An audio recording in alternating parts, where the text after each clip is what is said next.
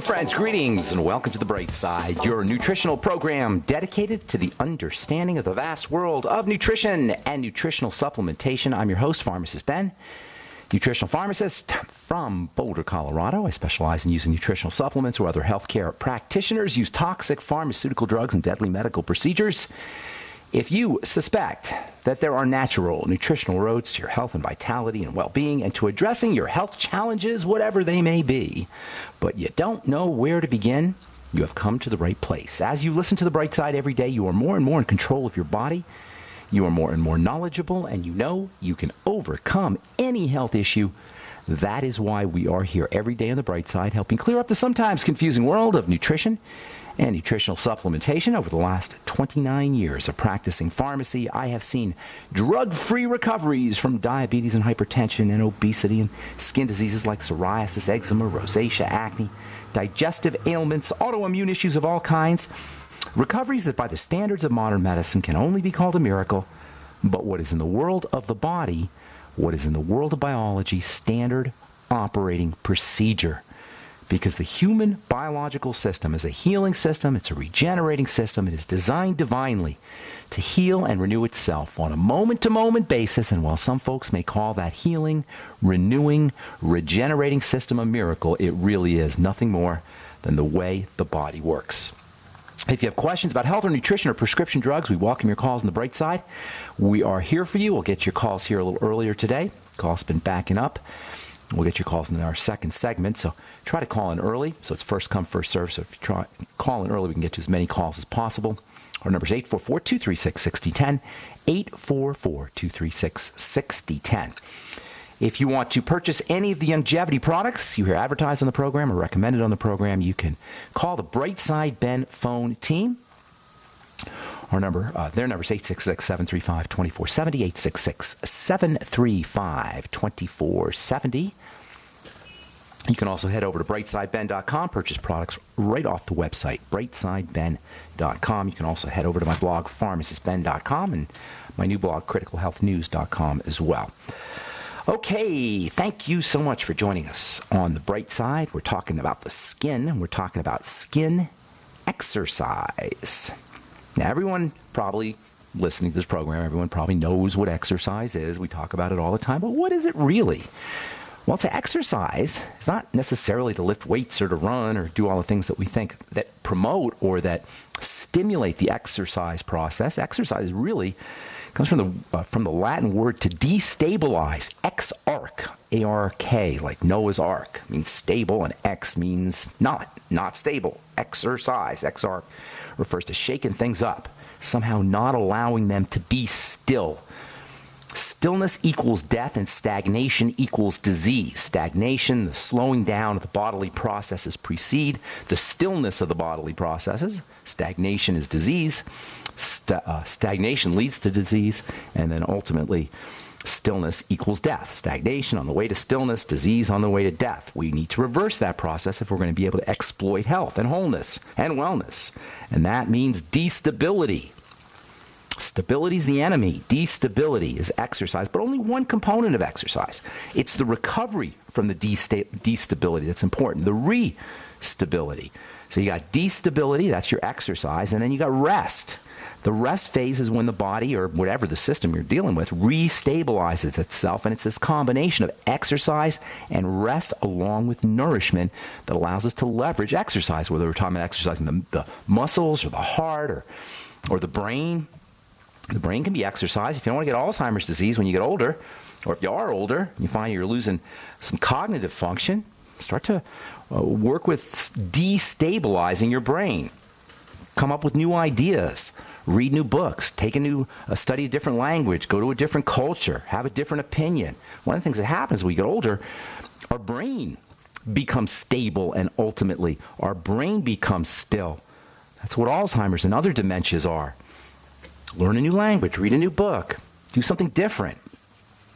Exercise the same way. There's something about exercise, and you guys who have uh, seen these commercials for P90X, P90X made a lot of money by doing something called uh, well, I don't know what they called it actually, but they did different. Uh, they do different exercises on different days, so the system has to guess. The body has to guess. It can't predict, and it's this destability from guesswork where the body doesn't know what kind of exercise is coming next that prevents you from plateauing when you're doing your exercises. Sometimes people will go and work out and they'll exercise, but they'll sort of plateau. They won't get the same benefit that they got when they first started because their body gets used to the exercise. And in a sense, even though they're exercising, the body becomes stable. So keeping the body guessing is always helpful. Keeping the system guessing is always helpful if you want to leverage the power of exercise. So, exercise is inherently destabilizing. The benefits come from the restabilizing, which occurs during the rest phase as the system is being nourished. And it's this combination of destability with rest and nourishment that allows us to benefit from exercise, whether we're talking exercising the muscles or the heart or the skin or the brain or even a civilization or a culture. Civilizations can be exercised. Cultures can be exercised by being stressed and then allowed to rest. And uh, nourished, perhaps not in terms of nutrition, but emotionally nourished, mentally nourished with ideas. In essence, exercise is controlled stress, period. That's basically what you're looking at. And this is why people don't like it. This is why it's inherently unpleasant. But this stress is not distress. Distress is a negative type of stress. Eustress, EU. Eustress is good stress as opposed to distress. And this kind this is the kind of stress that's associated with exercise, and it's the kind of stress that exploits the healthy body, uh, exploits the way the healthy body responds to trauma. The way the healthy body responds to trauma is through strength and through healing. The bone is always stronger at the point of the break. You exercise, you tear your muscles up, your muscles, you lift weights, you do resistance training, you tear your muscles up, your muscles come back bigger and stronger and better. A scar, by the way, on the skin is an example of this phenomenon. Sometimes people want to get rid of scars. You see commercials for crazy products fraudulent products, yes, fraudulent products that pretend to get rid of scars. You can't get rid of a scar because a scar is the way the body protects itself from an area that it perceives to be vulnerable. And a scar is like a, a strengthening of the area that's scarred in response to stress. It's a type of exercise, or at least the, the result of a type of exercise. So when it comes to exercise in the body, most of us associate exercise with, exercise with weight loss. So let's be clear here. There's a heck of a lot more to losing weight than exercising, as anybody can tell you who's exercised and only lost a pound or two. A lot of times people go to the gym, they'll get a membership for the gym, they'll do this treadmill workout and, and spinning and, and uh, martial arts or whatever it is, and they won't get the kind of weight loss that they want. You can you can force your or compel your body to drop pounds by doing intense exercise, but for most of us, exercise, while it's definitely important, it's not a great weight loss strategy unless it's part of a well rounded program that includes mental and emotional strategies, that includes nutritional supplementation, that includes dietary changes, eliminating food intolerances, reducing sugar intake. One of the reasons why weight stays on us or body fat stays on us is because our body is protecting us.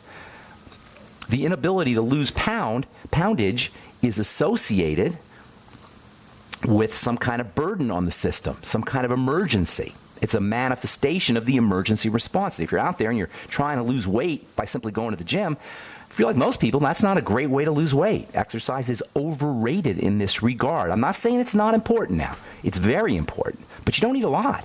Five minutes a day is plenty if you do it correctly. Yes, five minutes a day is plenty if you do it correctly. 15 minutes a day max if you do it correctly. If you do your exercise correctly, you're going to do it in quick bursts, intense bursts, not staying on the treadmill. I, I go to the gym, I see people staying on the treadmill for 20 minutes, 25 minutes. That's not a great exercise. Try staying on the treadmill for two minutes, but running fast, sprinting, or put the incline up and sprint, do an uh, incline sprint. See if you could do that for 20 minutes. If you can get on the treadmill for 20 minutes, you're not burdening the body enough. A walk around the block is not exercise, as important as it is and as helpful as it can be. Walking is definitely helpful. You're moving your muscles and you're moving your circulation. You're improving your lymphatic, the, the movement of lymphatic fluids throughout the body. I'm not saying it's not valuable, but it's not going to necessarily build you muscle or cause you to lose weight or induce weight loss. So exercise is overrated, and most people don't even know how to exercise. You want to exercise fast and quick and sharp and acutely. You want a burst of exercise followed by long, luscious rest. And you know what? It has a lot to do with the skin too. There's a lot you can do in terms of skin exercise. I'll tell you what I mean when we come back from our break. I'm Pharmacist Ben. You're listening to The Bright Side. We'll be back after this. All right, we are back on The Bright Side. Thank you for joining us. We're on the air Monday through Friday. 8 to 9 Pacific and 10 to 11 Central Time. If you miss a program, they're all archived at brightsideben.com. Got years of archives, probably going on six years now, five or six years of archives. Brightsideben.com. You can also check out my blogs, pharmacistben.com and uh, criticalhealthnews.com. We update them regularly with news, news stories as well as blog posts. Thank you to Robert Lundgren as well as John T. Collier for setting those up for us. And if you want to purchase Youngevity products, you can do them right off the website. You can also call the Brightside Ben phone team at 866 735 2470. 866 735 2470. And if you'd like to join the Brightside Ben team and make some money selling Youngevity products, help spread the word about the power and importance of a good nutritional supplement program, serve your fellow man using nutritional supplements, and earn a living doing or earn some money, make a living doing it you can call the Brightside Ben phone team. They can tell you all about it for a one time $25 fee. 866 735 2470 is their number.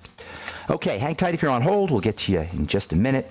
Our number is 844 236 6010 if you have questions about health or nutrition or skincare, skincare products, acne. Got a really neat, fa- uh, if you, uh, you're friends with me on my Facebook page, check out my Facebook page. Got a really cool picture of some young man uh, who had really severe acne uh, just gave him a couple nutritional strategies and told him about some supplements. And, and his mom is uh, is uh, is putting his pictures up on my Facebook page, how his skin is progressing, and it's really quite amazing. So if you uh, haven't friended me on Facebook, check out my Facebook page, or let's say you got the Truth with Ben Facebook page, or just Ben Fuchs. Anyway, we're talking skin, skin exercise.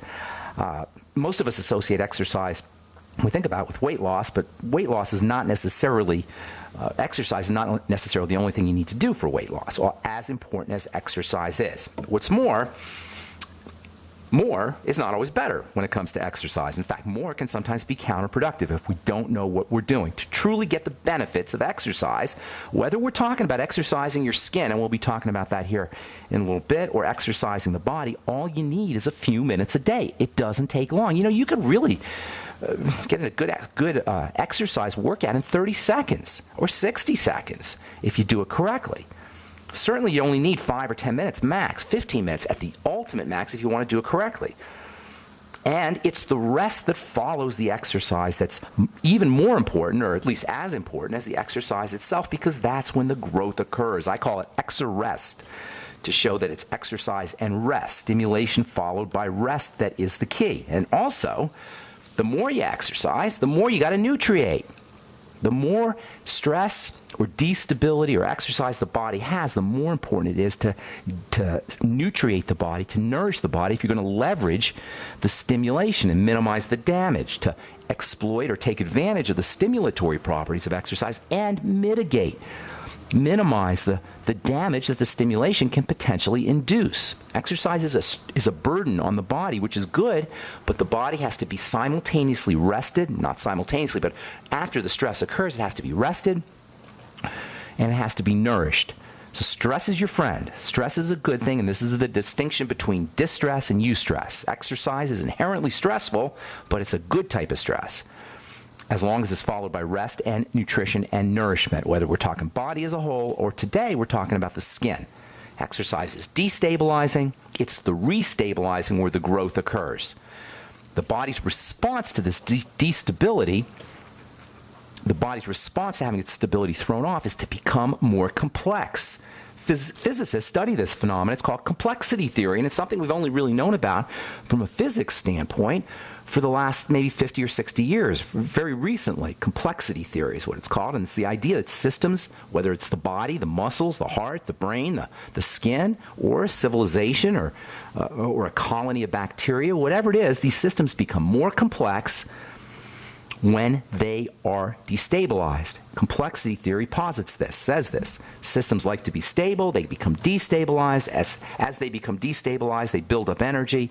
Finally, that energy restabilizes itself at a higher level of complexity. That's physics and hardcore physics. Rebecca Costa has written a book called uh, The Watchman's Rattle, where she talks about this phenomena occurring with civilizations and with societies. Really cool book. She applies complexity theory, the same thing we're talking about here in terms of exercise in the skin, to how societies move, to how ideas take shape. Think about it. When, when there's a weird idea or strange idea in the culture, it's kind of like destabilizes the culture. Culture can't handle it. So, first, the culture laughs at the idea, then it tries to resist the idea, those represent the stress phase. And then finally, the culture assimilates the idea at a higher level of complexity. If it's a good idea, the system will take it in and the system becomes better. It's kind of like exercising the system, exercising the, the culture, the society. This is what Rebecca Costa talks about. If you're interested in reading the book, it's called The Watchman's Rattle, and it's a super cool book. It's this back and forth nature between stability and instability that keeps us in the growth mode. That's what exercise is about. The body is always doing this. It's, it's going back and forth from, from destability to restability. And that's a good thing. As long as rest and nourishment occur, this is how the body grows. Anabolism and catabolism. Anabolism means breakdown. Catab- I'm sorry, anabolism means build up. Catabolism means breakdown.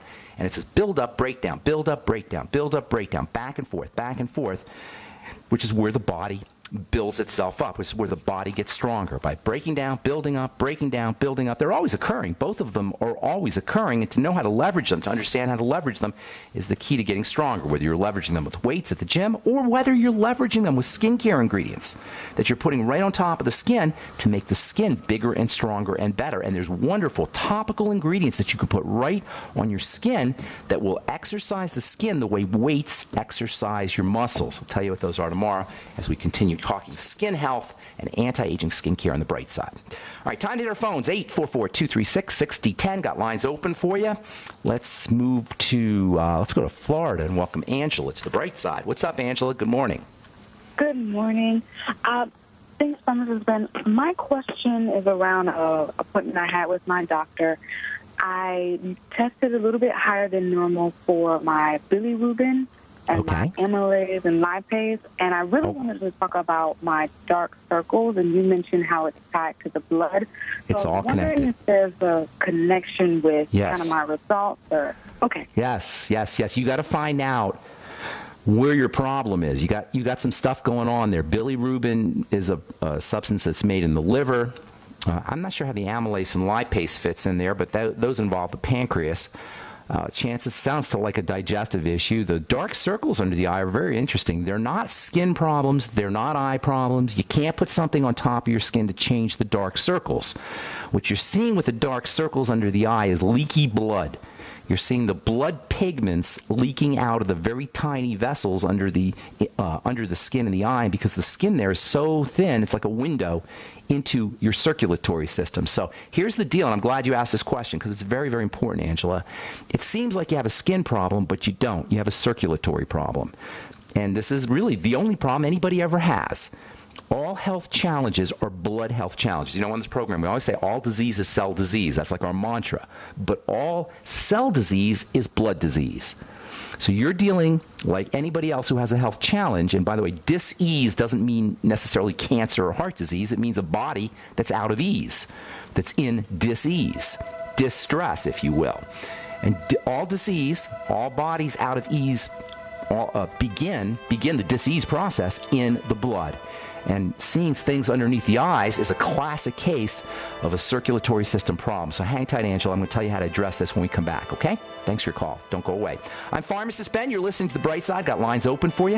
844 236 6010 is our number. We'll be back after this.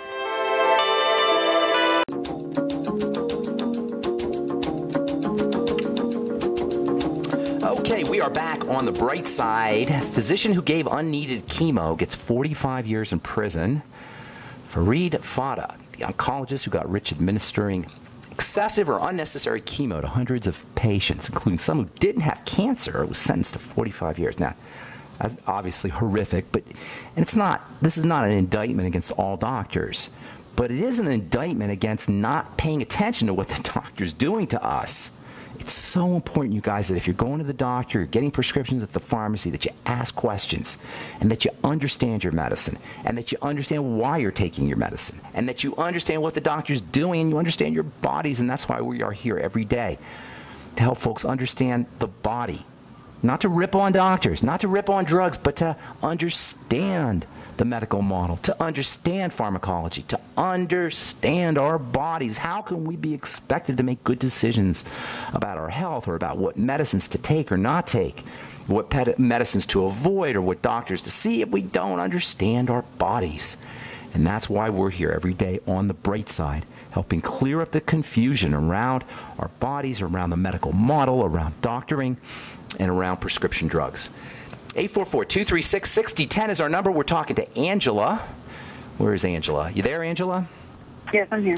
Okay, so you, you want to look at your dark circles, and this is for everybody out there who has dark circles, not as a skin problem, but as a circulation problem. The blood's not moving correctly.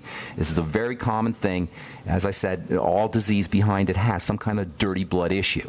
When the blood becomes dirty and when the uh, body becomes uh, goes into survival mode or stress mode, the circulation will become impaired. So number one, you got to clean the blood. That's first thing. The bilirubin issue tells me that you got a liver problem, and that can be significant.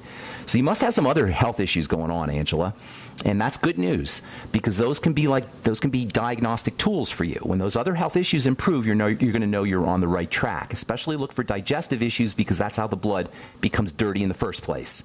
And as I said, the bilirubin issue uh, tells me that the, you have a bile problem or a liver problem, and that's a digestive condition too. So you got to look for food allergies, Angela.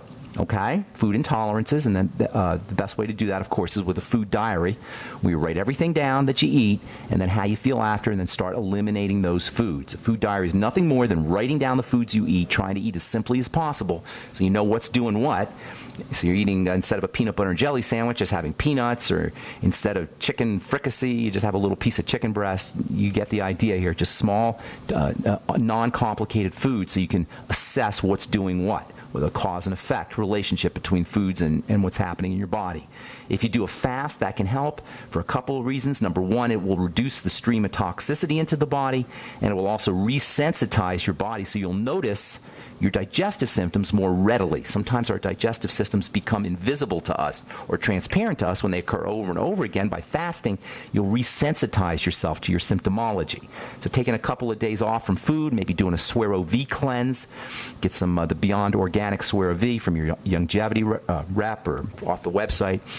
Uh, that can help too. Uh, the Suero V is unbelievable for fasting. Celery juice can help you fast. There's lots of ways to, to uh, make it easy to start a fast. Uh, one or two days is all you need, and then hit the reset button. You want to start doing things for the circulatory system. They starts with digestive health. Digestive enzymes can help you uh, in terms of circulation and in terms of food. Love the ultimate enzymes for that reason. They got two benefits, or they got a lot of benefits, but two of the benefits are they clean the blood help smooth the, the, transport or the movement of blood through the circulatory system, and they'll also help you digest your food. Take three after meals, and then take some in between meals, and do some apple cider vinegar with your with your digestive enzymes. Probiotics help good bacteria. I like the Biolumin Nightly Essence. Of course, fermented food is also a good source of good bacteria. And if you do your celery juice, not only will it help you fast, but the fiber in the celery juice is also very important for the digestive system. You know, you notice here we're talking digestion. Uh, surprise, surprise. We're not talking about the eye specifically.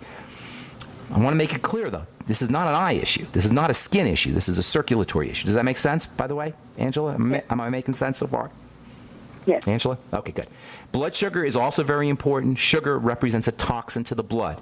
That's, there's a lot of problems with sugar, but one of the main ones is it represents a toxin to the body and to the blood after you have a certain amount. So keeping your sugar intake down is also very important. Of course, the Mighty 90 essential nutrients will help you do that, and then the sweeties will help you as well. A couple miscellaneous nutrients for the blood supply. Vitamin E can be helpful, 400 international units a day. Uh, chances are you got a vitamin A problem. If you have a liver issue, you might want to throw in 10 or 20,000 IU of vitamin A a day. And then, as an all around liver and digestive supplement, and also blood and circulatory supplement, the Fucoid Z. Two miscellaneous non supplemental strategies that can be helpful for you. Moving that lymph and blood around with a rebounder jumping up on a rebounder one or two minutes a day, or even just doing a super fast walk. I said earlier how walking is not a great exercise, but walking fast is a great exercise. A super fast walk for maybe two minutes a day, uh, every other day, three or four days a week, or go up the stairs really fast not running, but walking fast up the stairs. Something interesting happens when we walk fast that's different from running. It's actually a lot harder in a way to walk really fast than it is to run. You use a different group of muscles. So, walking up the stairs fast, not running up the stairs, but walking fast, that can also help improve improve your circulation. Anything you do to improve the circulatory system is going to help you. And then, of course, my favorite way to improve the circulatory system, improve the movement of blood through the circulatory system, is practicing your deep breathing techniques, not only for oxygen, hypoxia, low blood oxygen can clot the blood or clog up the blood, but uh, deep breathing is also important because the muscles in the lungs can help move the circulatory and lymphatic fluids, the intercostal muscles, those are your lung muscles. By practicing deep breathing, you can move those fluids around the blood and the lymph as well. Got to move on, Angela. I hope that helps. Thank you so much Thank for your call. Appreciate it. Take care. God bless you. All right, Matt in Ohio. Welcome to the bright side. What's up? Hi, Ben. Uh, Hey. I'm a huge fan. Thank Been you. listening Appreciate for it. over two years. Love your show. I'm addicted. Every deal. day I, I have the show on when I'm cooking dinner. Oh, good. Uh, Uh, you're, that's a you- good you- addiction. I like that. Thank you for sharing it's that. very good. Um, you've helped me a lot. I've taken a lot of your, your advice. It's really brought everything together um, as far as uh, cutting out, basically uh, following a ketogenic diet. Just just phenomenal. Taking Awesome. the uh, the supplements, um, sipping on the uh, on the uh, Youngevity supplements, um, OsteoFX. What my call, what I'm calling about is um, specifically cortisol. I'm Okay. trying to raise my cortisol level. I haven't found any information um, and any searches in how to do this. Okay, that's great. That's a great question because you always hear the opposite, how cortisol is a problem. But Right. actually, without cortisol, you can't handle stress. And interestingly, cortisol gives you kind of a, a sense of euphoria, a sense of a high, kind of. And you can get prescription cortisol. Uh, And they will give you prescription cortisol if, you, if they see you have low cortisol. And uh, by the way, low cortisol follows something called adrenal fatigue, which I know folks have heard of. What happens is when we're under a lot of stress, we get a surge of cortisol. Cortisol is our stress hormone, and then over time we run out of cortisol, and then your body has to has to recover, and you got to build up more cortisol. So you're in that stage probably, if you're talking about you or whoever it is, where your adrenal glands are just they've, they've run out of cortisol. Now they got to make more, and you got to help them make more. Is that is it for you or somebody else? It's for me. The reason Okay. why I'd like to raise the cortisol is because uh, over the last 13 years, I've been on uh, Paxil, 20 milligrams, and Okay. just about six months ago, I, I completely went off just following all your all your suggestions. Fasting has been, been a huge help, but what's happening now is um, I find that um, I'm waking up in the middle of the night. I think it's low blood sugar, sweating. Yep, heart- that could all be. heart lo- That could all, that's, that's exactly what that is. And by the way, that's cortisol doing that. Hang tight. We got to take a break, Matt, but I'll address your question when we come back. It's a good question. I'm Pharmacist Ben. You're listening to The Bright Side. We'll be back right after this. Don't go away.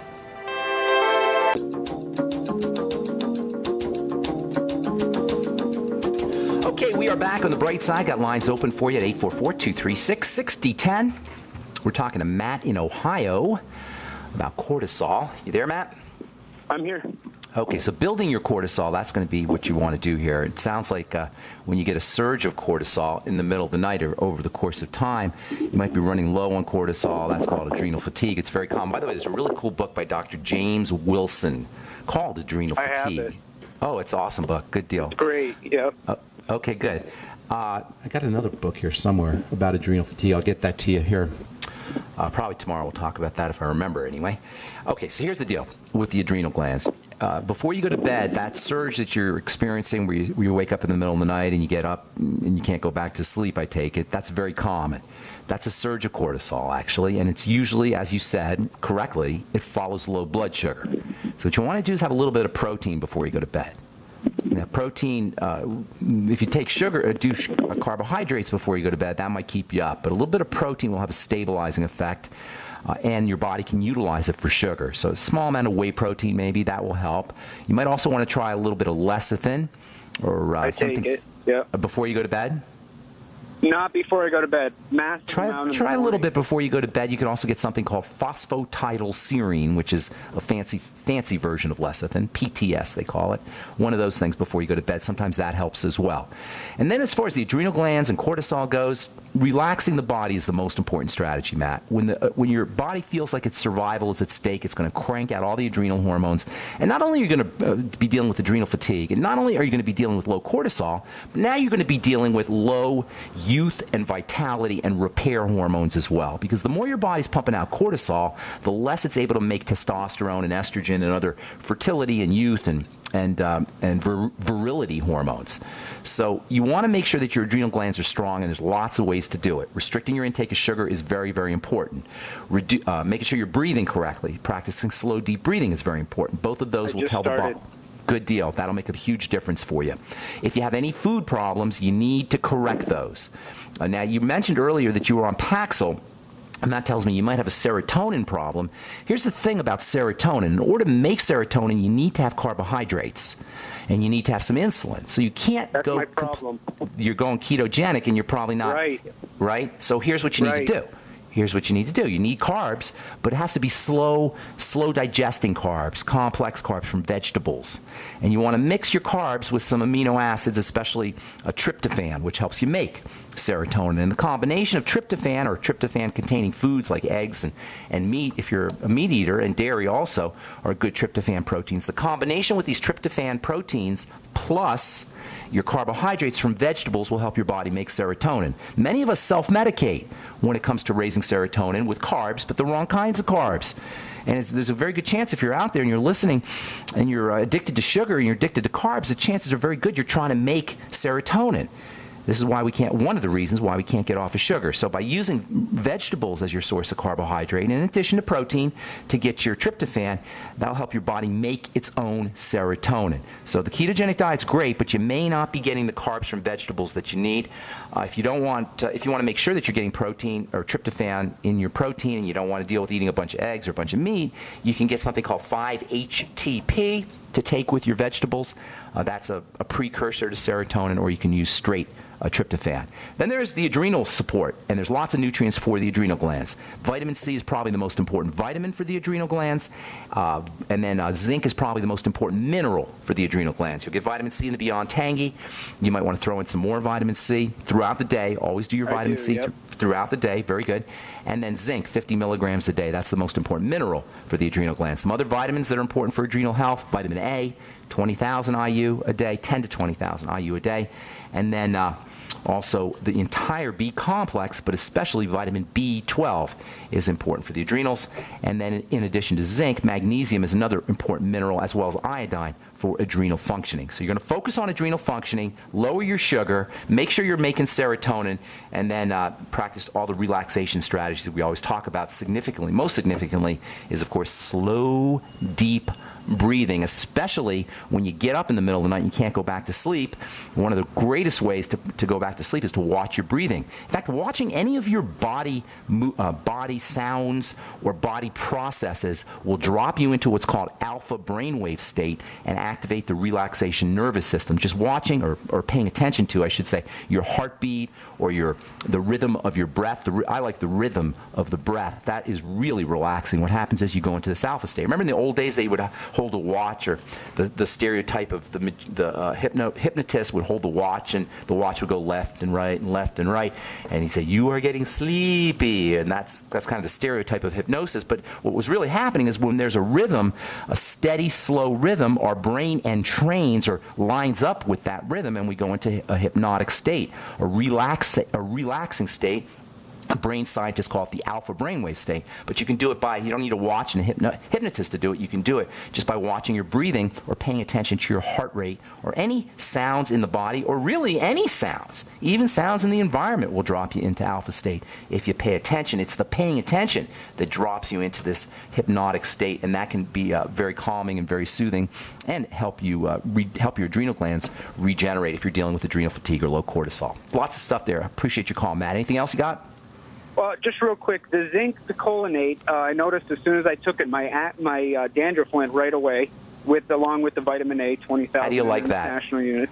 How do you like that, Matt? Did your dermatologist tell you about that? Anybody tell you about that? Of course not. No, specialists. Uh, no, Specialties not, are for not really- specialists. Yes. Yep. yep. All right. Thank you for your Thanks, call. Appreciate Ben. it, Matt. All right. Have a beautiful day in Ohio. Coach Cosmo, welcome to the Bright Side, man. What's up? Brother Ben, how are you? I'm doing good. Hey, give your website out real quick. Alrighty, uh, you can find me on YouTube. You can go to youtube.com slash Coach Cosmo. That's Coach C O S M O, Coach C O S M O, and then www.coachcosmocares.com. Ben, quick question about lactation. You're not lactating, are you, not- Coach Cosmo? I, I thank goodness no. I'm just thank kidding. goodness no. It's someone else who would like to be. She's got a baby, but she's not producing enough milk. What can Okay. I tell her? Uh, well, you know, it's the same thing. Same old, same old. Is she smoking by any chance? You said again? Is she a smoker? Um, not that I'm aware. That's the biggest reason why people will have a problem lactating. But basically, it's a sign of the stress response if you're not lactating. So you got to calm the body down, relax the body. Now, if the body's under any kind of burden, stressful burden from a disease state or an illness or a lack of nutrition, those all need to be addressed, especially with fats. Omega 3 fats, um, especially ome- uh, omega 3 fats, but all your essential fatty acids, your ultimate EFAs, focus on fats uh, as far as nutritional supplements go. But you really got to look for any other health issues because that's a sign that the body is under some kind of burden. So what you want to do is you want to see if there's some blood sugar problem. That's usually a burden that's going on, uh, or a digestive issue that could be happening too. So look for other symptoms aside from the lack of lactation. If there's emotional, mental stresses, clearly those need to be addressed as well. But look for other uh, other di- uh, other body, body issues, other health issues. If there is uh, if there's any uh, any kind of uh, autoimmune problems or any any health problem, really, that can represent a burden on the body, and the body won't make milk. Smokers or cigarette smoking is really the worst problem, and prescription drugs can do it too. If she's on any prescription drugs, you want to have her. Uh, you want to make sure that she's uh, at least weaning herself off her prescription drugs. If she's on prescription drugs, or anybody's lactating on prescription drugs, by the way, baby is getting medicated as well as you. So that's not a good idea. So what you want to do is look for other health issues, especially around relaxation. There are foods that can have a positive effect on. Uh, on uh, uh, lactation, on increasing milk, especially vitamin C containing foods. Uh, or she can just do straight vitamin C. Uh, there's an herb called fenugreek. I don't know if you've ever heard of that. That's been used uh, sure. in Ayurvedic medicine. Fenugreek is like the next up and coming herb for the hormone system. Uh, it's spelled F E N U G R E E K, not only for the hormone system, but also for uh, the blood sugar system. So, fenugreek is a great building. Uh, building herb. You can do fenugreek tinctures, or you can there's there's various forms of fenugreek that you could find at a health food store. Dandelion, fennel, those are herbs that are all associated with uh, improving lactation, and of course a good nutritional supplement program featuring protein, especially whey protein. Uh, the combination. Yeah, I was going to ask you about that. It's awesome. I think she may be leading a vegetarian lifestyle. Well, that, that would definitely put a burden on the body, especially if she, you know, a lot of times people have a vegetarian diet and they don't realize that vegetables can be more reactive than meat. In fact, there's no toxic meat. Nobody's allergic to any meat, but we're allergic and there's plenty of toxic vegetables. So vegetarians have to be really careful. Uh, sometimes they, you know, especially if they consider, oh, vegetables are benign, I can eat whatever I want. Uh, s- that, sometimes that's not the case. Coach Cosmo, that's all the time we have. Thanks for your call, buddy. I hope I helped you. Buddy. Thank you. Take care, man. Have a beautiful day. All right.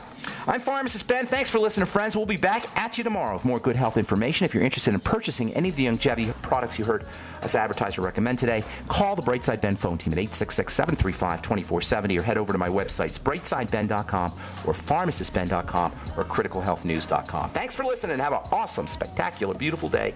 We'll talk to y'all later. Bye for now.